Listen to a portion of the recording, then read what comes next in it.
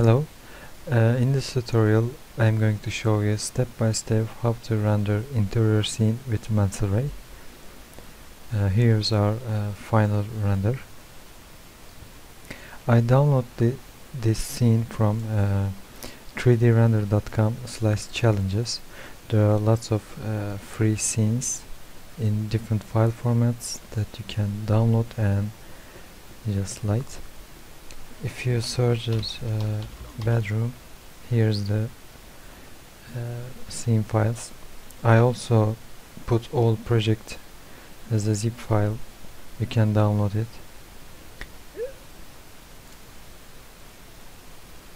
Let's uh, let's see what are the steps and which lights I used for to light the scene.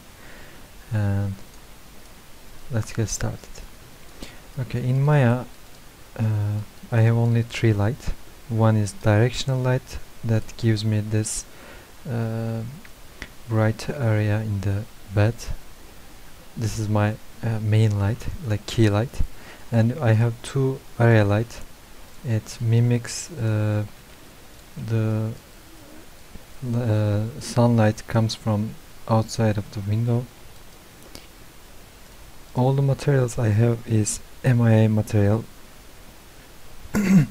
Sorry. Uh, there is no uh, special uh, shader.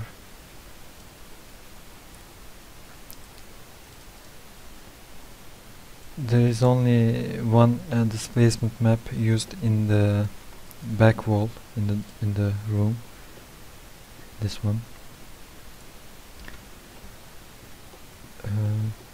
I use rather than using a uh, HDR I use image based lighting with simple uh, ramp. Uh, I uh, choose not the image file go to texture and I plug a simple ramp. And I give uh, simple uh, colors to mimic skylight. There are some values over the over the one to increase the intensity of final gather effect for this render I um, I use also final gather with one diffuse bounce but I increase the I increase the primary diffuse scale by by double. Let's uh, open Photoshop and see the all the steps. Okay this is my this is my first render before assigning shaders I always uh, create a new uh, render layer in Maya and assign a black MIA material. Uh, just overwrite the whole uh, scene and position I put always position my lights before I uh, create shaders to see overall light and the direction of the light.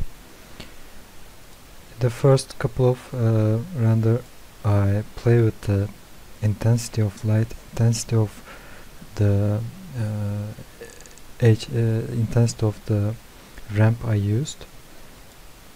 Here I start to rotate my directional light to get better lighting over the bed.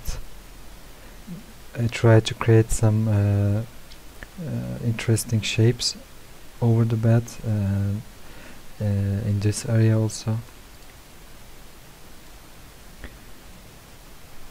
Here I uh, increase the quality of the render settings and I also increase the directional light intensity by double.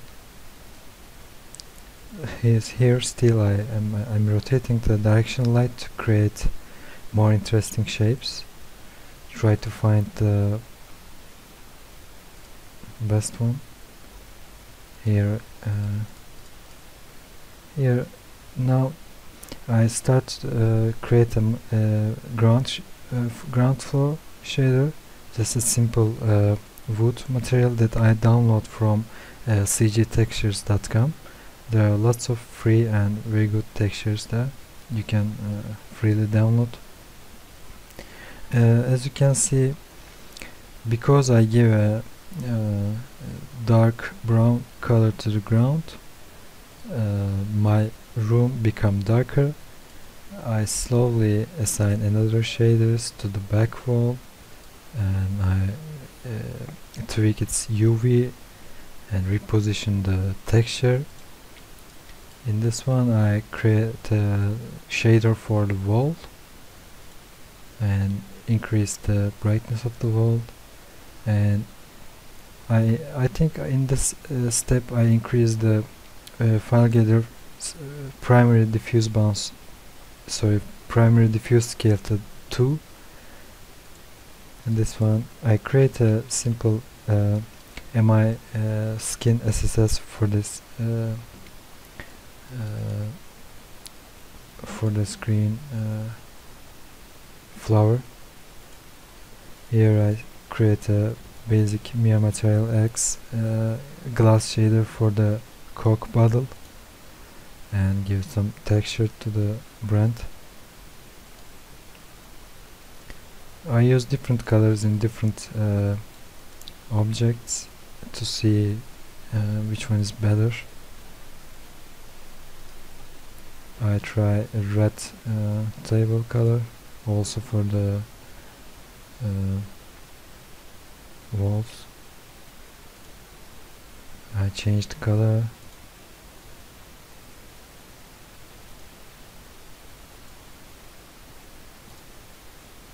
this was my uh, final uh, test.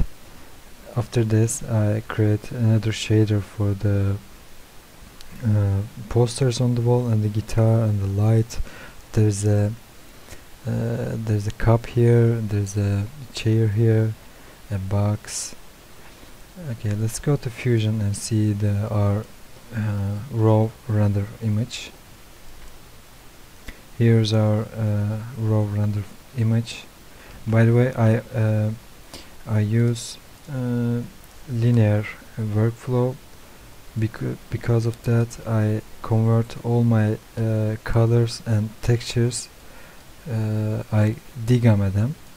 I mean if you look for example to the wall and see the shader you can see I use gamma nodes for everything.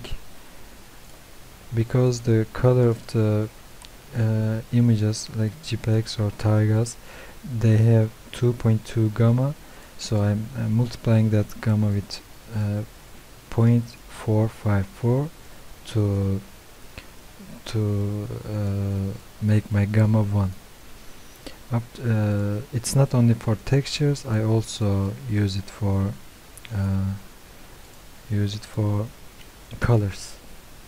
Here as you can see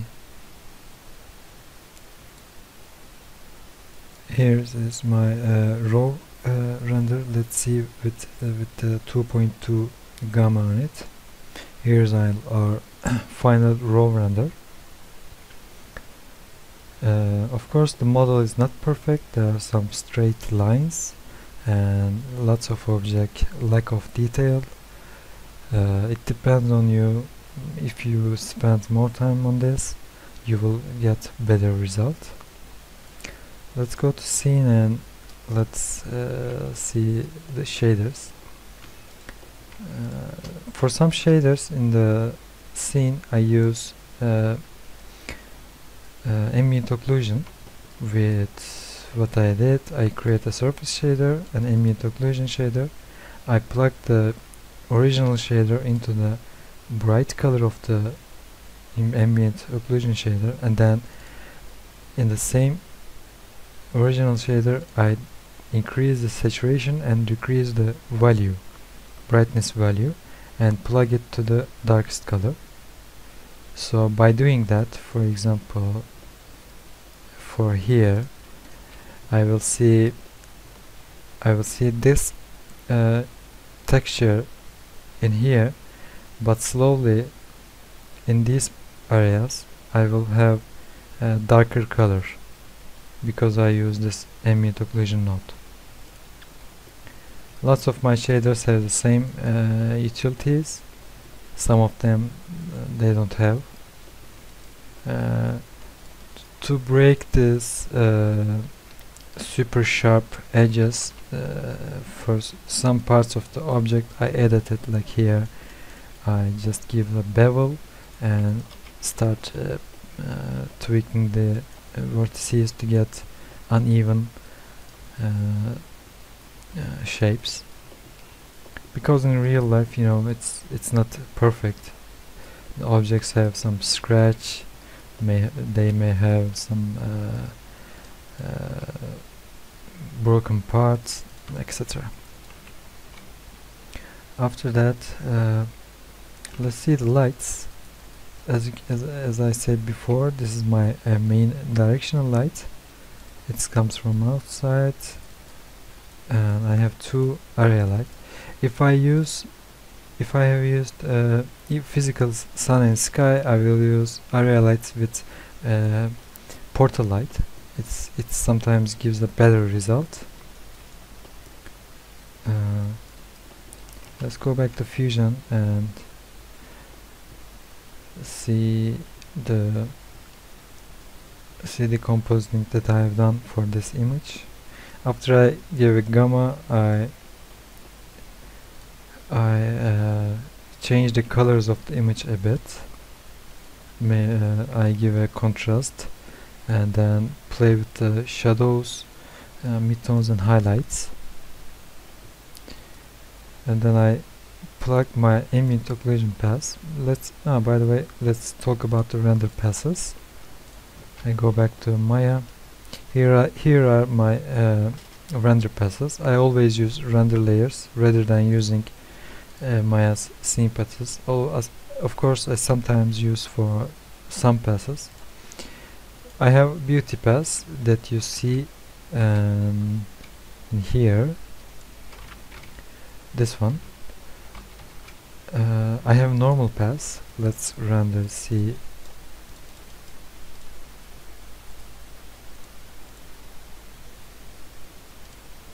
I always use uh, test resolution when I uh, developing a look for a scene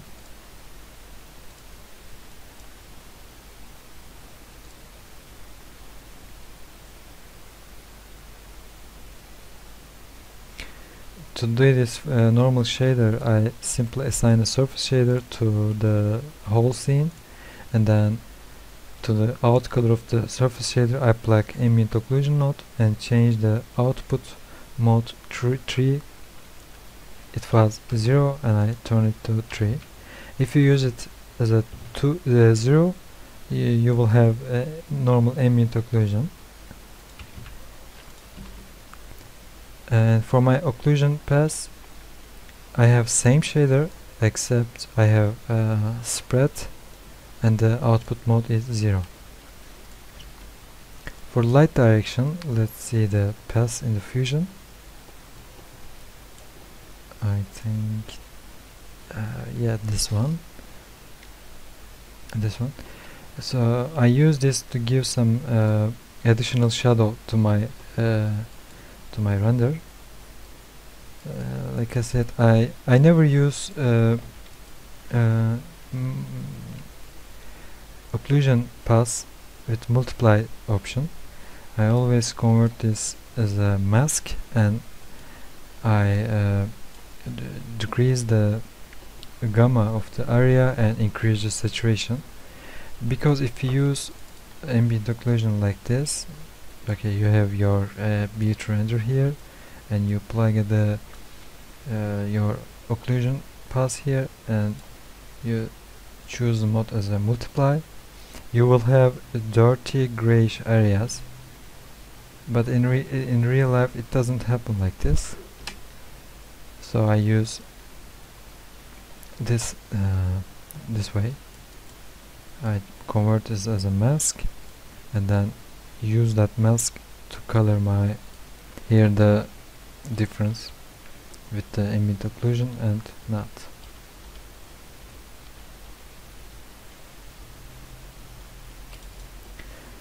After that uh, I use my light direction pass to give additional uh, shadow to my scene. I use this uh, pass as a mask and I give another color correction to give these shadows. After that I have normal pass. I gave the uh, some bluish color to the top of the objects to mimic uh, blue color comes from outside of the window but it's very subtle. Here you can see. And then I have uh, a soft focus. Let's blur the image a bit I have a volumetric light here. If you don't know how to create volumetric light in Maya you can uh, you can there is a tutorial in my uh, in my in our website. Uh, you can search for volumetric and you can watch it. It's quite easy to do. So I increase the gamma of the gamma and the brightness of the uh, volumetric light and put at the screen option here. Here is the difference with it and without it. And I gave some glow to to the brightness brightest areas of the image.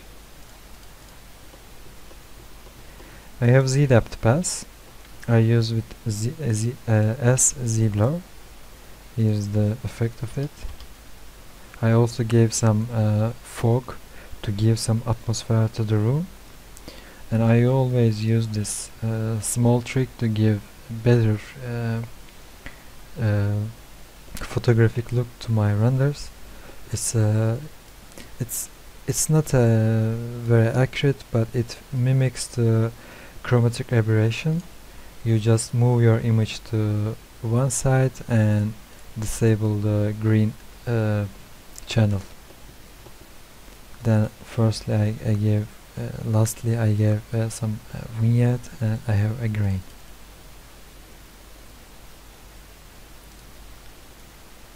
Here's our final image. Let's see with the raw raw uh, render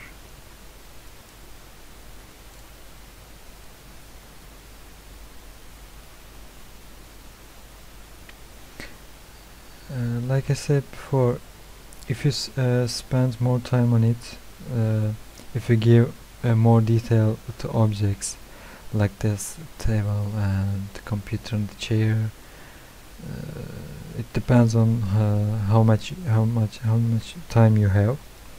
I spent like uh, seven or six hours for this render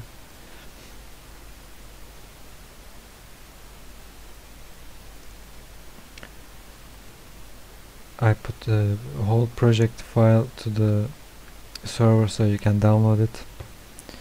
So mm, that's all. Thanks for watching. Thank you